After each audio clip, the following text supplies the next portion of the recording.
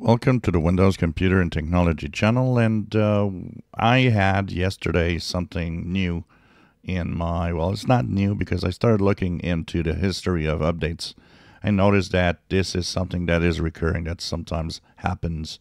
Um, I've seen one that was much older. So when we got our patch Tuesday, I had something called Online Service Experience Pack. And it was saying windows.settings.account so uh, here it says improves the delivery of user experiences from the cloud. What is it exactly? Uh, so there's different versions of it. Now that one that downloaded yesterday was version 4.0.613.0. It appeared only on my 23H2 Windows 11 machine, and it not did not appear on any other machine running Windows 11. Um, some of you have said you've got it. Some of you have said, a lot of you have said you didn't have it. And what it actually does is uh, one of those, you know, obscure, not well explained by Microsoft uh, download into updates. And what it does is it tweaks different aspect of your Windows operating system. So it could be changing something in the settings. It could be changing something uh, visible or something that isn't visible in the background, something that Microsoft wants to do a, a change for. Uh, once again, Microsoft, in all of its pages that deal with this, does not explain really much, except, oh, it changes things. Yeah, it'd be fun to know what it changed when I got it.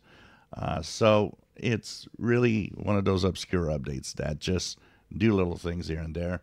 Um, the phrase they use is that the update actually will change some of the features uh, and some of the settings in the background without having to, you know, install Windows or have a big update.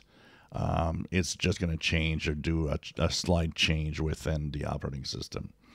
Now, it does mention that it seems to be cloud related. It could be due to a fix or a change in, for example, the Windows Cloud download when you do a reinstall of Windows through the uh, Windows 11 uh, settings. Uh, one of the updates, one of the options is that to actually download an image from the cloud to reinstall.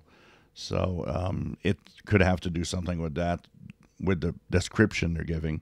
But once again, don't try to find any real explanation. Once it, Microsoft is once again, just saying, oh, yeah, it fixes things, uh, which is not exactly what you want to hear, but, anyways, that's the way it is.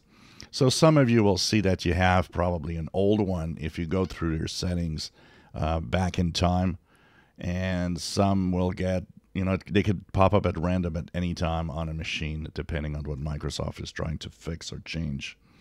If you enjoy my videos, please uh, subscribe, give us thumbs up. Thank you for watching.